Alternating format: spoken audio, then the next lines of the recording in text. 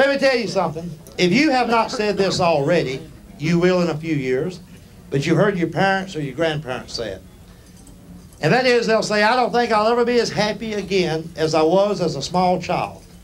That was true yesterday, today, that'll be true forever.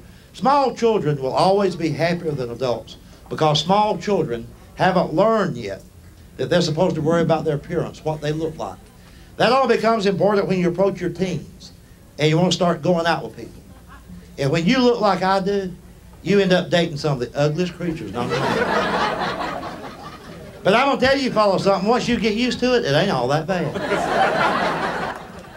I remember the first girl I went with in high school. I'm not going to say she was a dog, but when I met her, she was 15 years old. Now that'd be 105 to me and you.